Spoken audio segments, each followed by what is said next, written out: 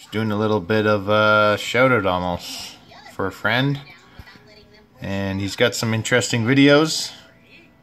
Um, they're quite a bit different than what I post, but I find them quite amusing. So if you guys are looking for something else to watch and interesting, I would uh, like to recommend this guy.